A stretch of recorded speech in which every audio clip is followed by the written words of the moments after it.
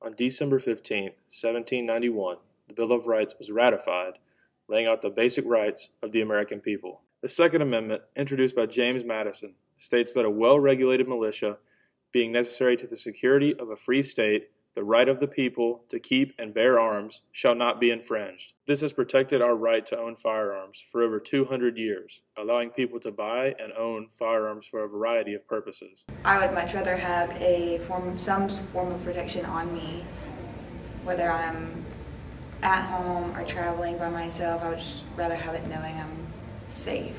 Okay, so my mom has a lot, and I'm not a huge fan of the size, but knowing it would be a form of protection, I would probably get one of those. And I would just have to take some extra measures, knowing how to handle it and use it.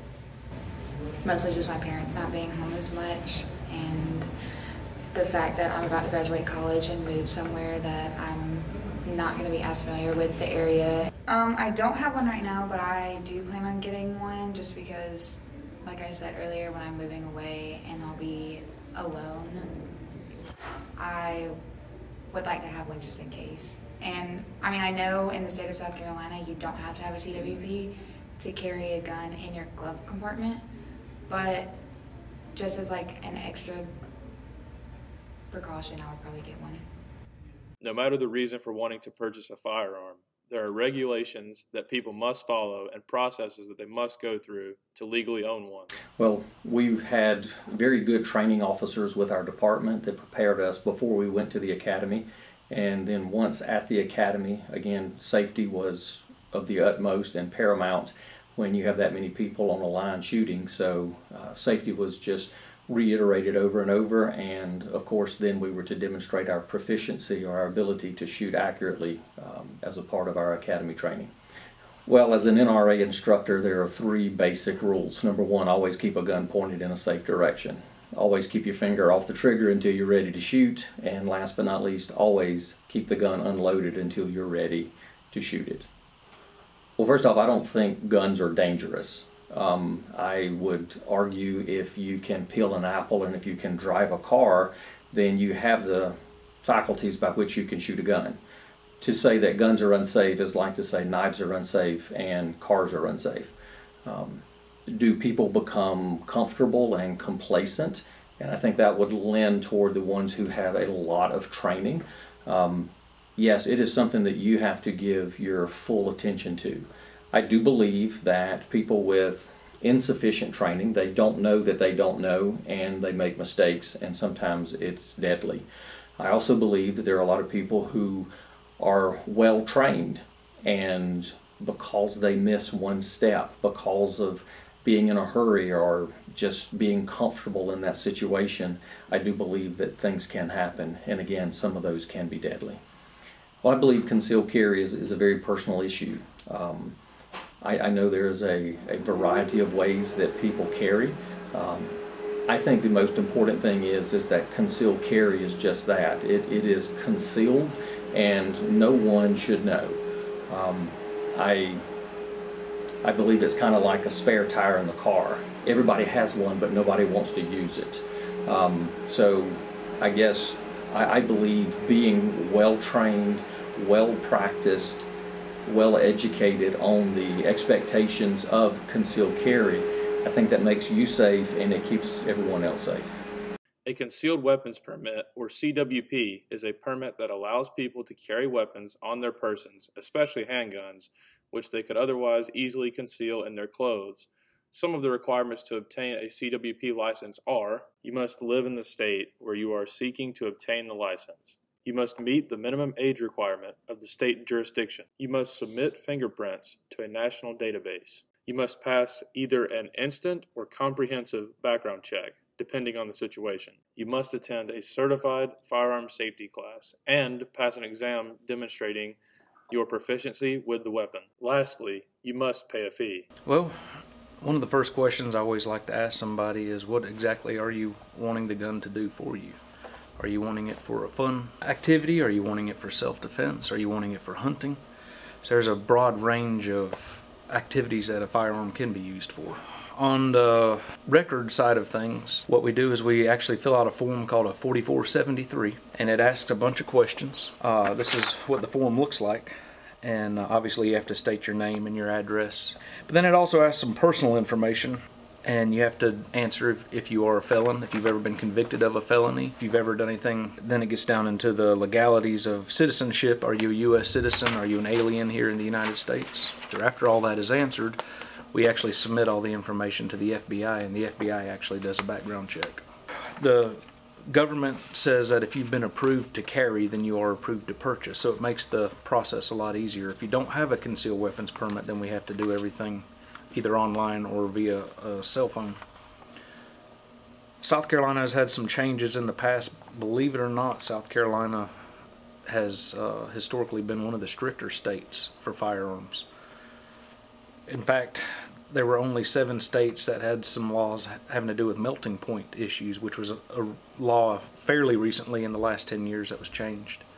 And so what that meant was any gun that had a melting point, I believe it was under 760 degrees, was not allowed to be sold by a dealer in South Carolina. So that eliminated a lot of the cheaper guns, guns that range anywhere from 100 to 150 bucks.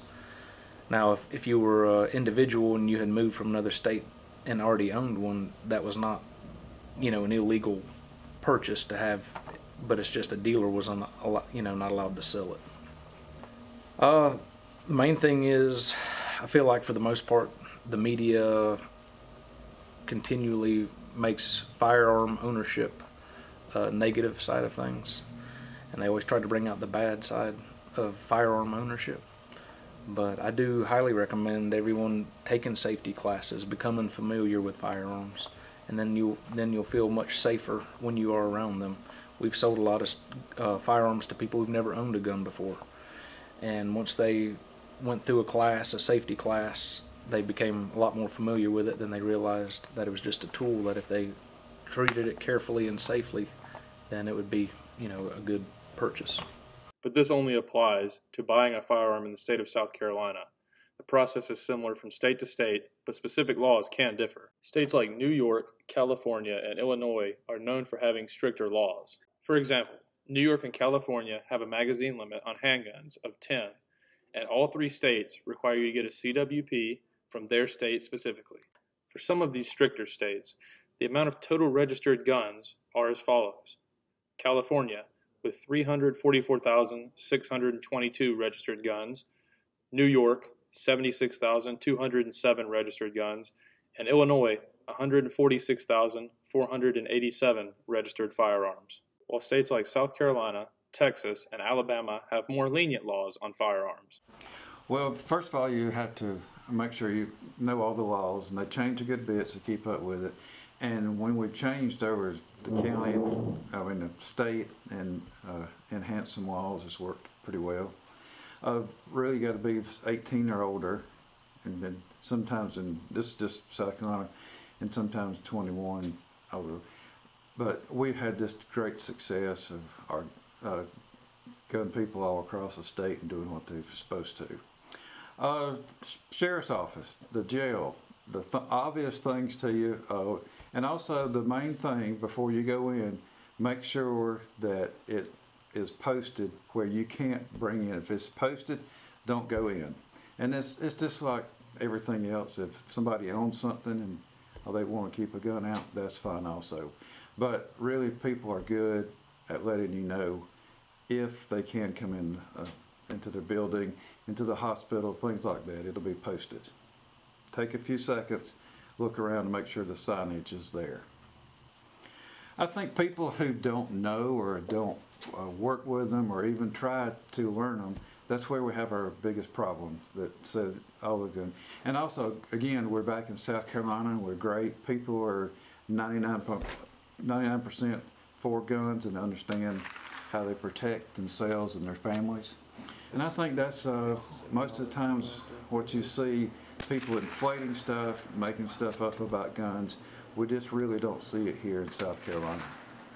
Usually it's a felony, and that may be a felony here at our local level, here in our courts, or federal.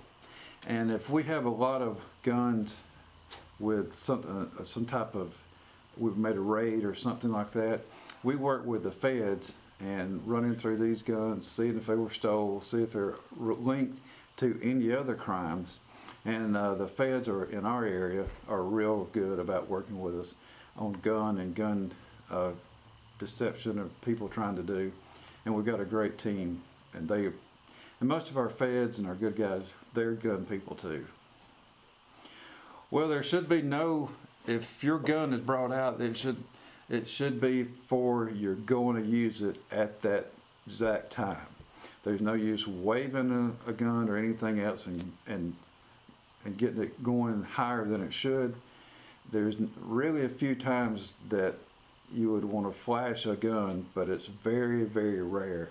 When you have your uh, gun, you need, you should be out because you have to use it at that time. I would like to say keep doing what we're doing. Uh, in South Carolina, at least, is uh, we have great people. We have people who are doing very well on what they should do with guns. They take care of themselves. They practice. They keep up on our laws and things like that. And our gun people around this area are uh, just great to have. Neither South Carolina, Texas, nor Alabama have handgun magazine restrictions. While South Carolina honors CWPs from 25 states, Texas honors 44, and Alabama honors 48. The total amount of registered guns in these states are as follows South Carolina has 105,601 registered firearms. Texas has 588,696 registered firearms, and Alabama has 161,641 registered firearms. Before you purchase a firearm, you should research your state's specific laws to know what you can and cannot do, as laws can affect them with what firearms you can own, how old you must be to own specific firearms, where you can take your firearm, and how you can modify your firearm proper handling, obviously.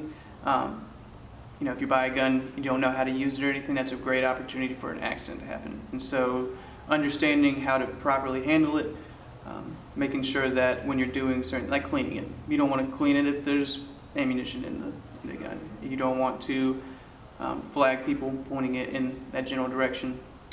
Um, proper storage is a big thing, especially if you have family, if you've got kids, you want to make sure it's, it's locked, it's restrained, it's out of reach. Um, things like that, just kind of being overboard safe with it is always the best way to, way to go. There's a lot more stipulation I think a lot of people let on, um, in my opinion, and I was kind of one of those people before I started working here. Um, people often think that a lot of times it's too easy, when in reality, there's a lot of checks and balances that come in before purchasing a firearm. Like you can't buy handguns out of state. There's a little lengthier process of getting it transferred and filling out paperwork in your home state. Um, age restrictions, those kind of things, um, citizenship, criminal records, all these things kind of come into play when you're purchasing a gun. And so a lot of times people will come in before they even start looking for a gun. They're like, look, this is on my record. Do you think I'm going to be able to buy it? Know, we'll tell them straight up, yes or no. Another thing is that um, gun stores have a uh, have a right to deny a sale. So for some, even if your background check is cleared, if for some reason we think that there's a reason that you should not be purchasing a firearm that day, um, then we're going to say no. Yeah.